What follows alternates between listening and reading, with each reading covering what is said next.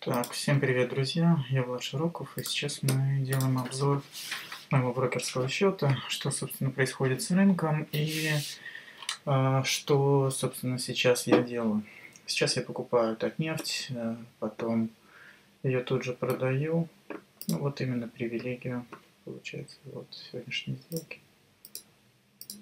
Если были суммы побольше, можно было чуть-чуть там заработать немножко. Вот по 566 потом продаю по 500. Так, дневник надо посмотреть. Вот купил 563, продал 564,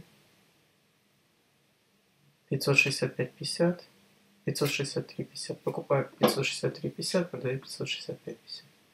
Разница 2 рубля. Остальные акции, в принципе, я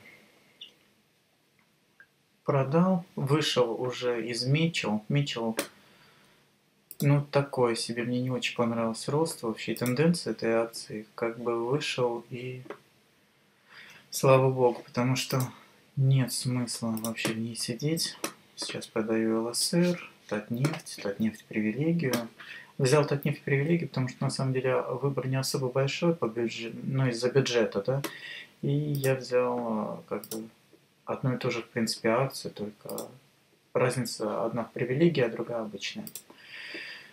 Так, давайте посмотрим избранное, то, что я хотел вам показать, да, что я изменил. Так, каталог, наверное. А, вот избранный. Привык на этом на телефоне. Избранная Газпром, а, Газпром, Детский мир, Московская биржа, Татнефть, Киви, Татнефть, э, обычная.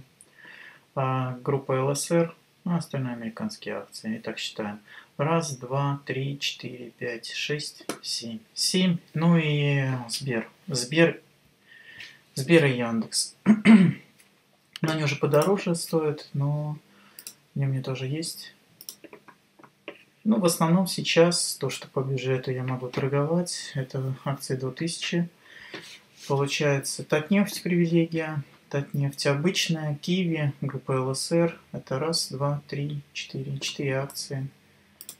Четыре акции. Вот раз, два, три. Три, да? Что по заявкам? Продажа, продажа. Да, вообще три. 58. Сейчас наблюдаем падение рубля на самом деле. А напишите, кстати, в комментариях, как звук. Я вот с ним все борюсь, потому что звук часто выходит не очень. Может быть, я просто тихо бормочу, а, хотя пишу с микрофона и вроде по частотам. Но сейчас усилил просто звук, я думаю, будет нормально. Должно слышно быть, в принципе. Все четко, отчетливо.